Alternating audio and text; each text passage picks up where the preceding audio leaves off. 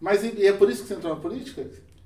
Cara, Se eu você não entrou na política ainda, cadê seu mandato? Eu quero falar aqui do seu mandato. Como que eu vou pedir para votar em você se você não se elegeu, não, não se candidatou no partido, Não, não, fez pré-eleição?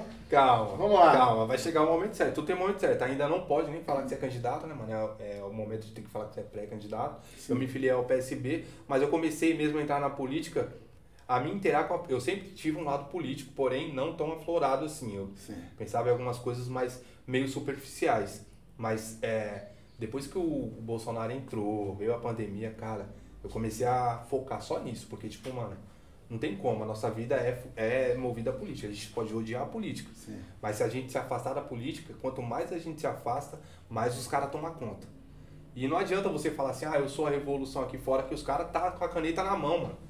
E tá fazendo maior covardia com nós que tá aqui, tá ligado? Então nesse momento quando eu comecei a olhar e vi que, mano, tudo ali, tudo que tava acontecendo ali no momento ali é por, por falta de, de, de humanidade dentro da política, porque pra mim falta humanidade, tá ligado? Falta... Você vai trazer a sua humanidade? Eu pretendo. Você vai, você vai, vai ser candidato. Você é candidato a Você é deputado estadual. pré-candidato. Sou Mas pré-candidato. você quer ser candidato a deputado estadual. Isso. Por São Paulo. É, Beleza. um- é, beleza, entrei no É. campo minado. Quantos mil votos precisa dentro do PSB para você ser eleito? Ó, essa conta eu não tenho direito, mas eu acho que chegando a uns 35 mil é capaz de a gente conseguir brigar ali. É, voto pra caramba. E tipo, mano. Mas eu vou falar uma coisa pra você, velho. As pessoas têm que entender o seguinte. Eu, quando eu entrei, eu entrei, eu entrei porque pra mim a política é muito técnica. E ela só é números. E números pra mim é muito frio, mano. Tá ligado? Acho todo mundo só trata a política como números. Ah, teve um desastre no, no Rio de Janeiro, morreu dos, mais de 250 pessoas.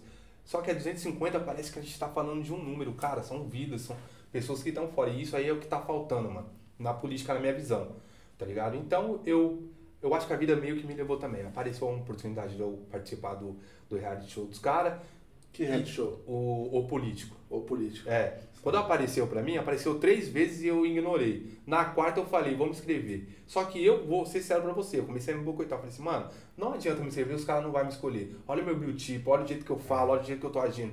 Ninguém na política vai dar interesse. Aí o cara me chamou pra fazer uma entrevista.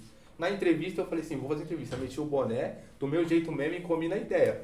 Tipo, a ideia de quebrada mesmo, a ideia com a minha vivência, com Eu vi as participações disso. com sofrimentos e tal. Uhum. Aí os caras falaram assim, não, mano, você tem que entrar. Quando eu entrei, eu conheci o Cauê, o Lucas, o Ronald é o que tá comigo também, ele é um dos participantes. Então, os caras realmente resolveram apostar. Falou, não, mas você poderia virar tal. Aí eu falei assim, mano, não tá muito cedo. Eu acabei de entrar na política e tal. Ele falou, não, mano, tem condições, vai.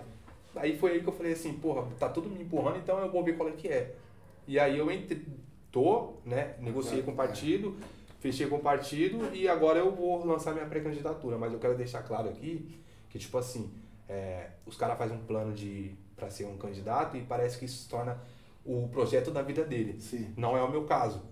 Eu quero, eu quero é, poder representar a, o que falta para a periferia mesmo, que é humanidade, é saber da urgência das pessoas. Porque, tipo assim, a esquerda, hoje no nosso país, nós temos vários representantes, mas todos eles são brancos, né? E poucos deles vieram mesmo do sofrimento que eu vejo, tá ligado? Por que, que, que eu tenho que ficar apostando sempre? Por que, que não, não tem ninguém diferente? Apesar que os partidos também, às vezes, parece que não dá muito espaço para quem vem, tá ligado? Da periferia, de baixo preto. É sempre meio que. Né? Eu tô tentando quebrar essa engrenagem dentro do partido. Por isso que eu tô no PSB, porque na verdade o plano que os caras comigo falou desde o começo que era um plano de inclusão social e tentar equilibrar a balança. E também pros caras é bom. Ter um cara preto na quebrada, que é um cara legítimo, que é um cara que sabe o que fala, que é um cara que também quer aprender a- a- na máquina política Sim. a trabalhar, mas que também dá inclusão para eles. Porque Sim. a inclusão ela não é de uma única.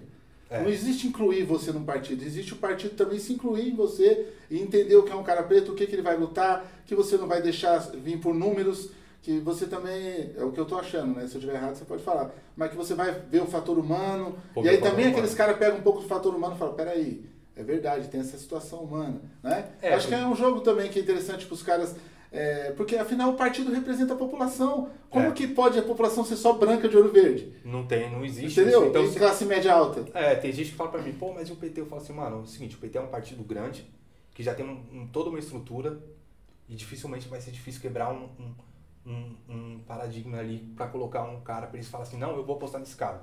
É, o, o Lula é o, o, o principal do PT, é um cara que veio do povo, E é o principal, para você já deveria ser um alerta. Fala, pô, não tem um cara mais querido da esquerda, é o único que nunca terminou a escola, a faculdade e é um cara que veio de baixo. Os outros que estão ao redor são todos técnicos. Eu não tenho nada contra porque eu acho que precisa.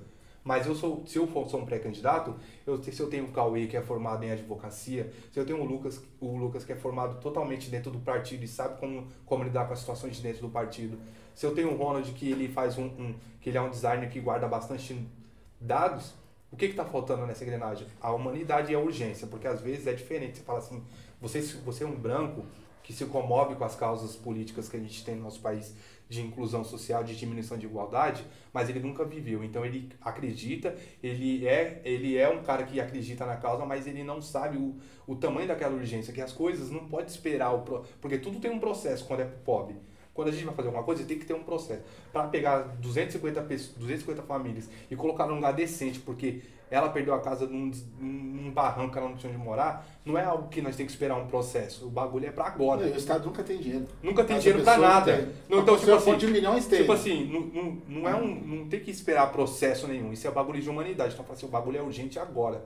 Do mesmo jeito que você tem a urgência quando você vai voltar o, o seu aumento de salário, você tem que ter essa urgência agora. As pessoas estão na rua, estão esperando. Você vai fazer o quê? Vai colocar elas num galpão lá e deixar um mês? Tem criança lá, mano. Não tem humanidade. Isso aí tá faltando, tá faltando. na minha visão, tá ligado? Então é isso que eu, Agora, que eu quero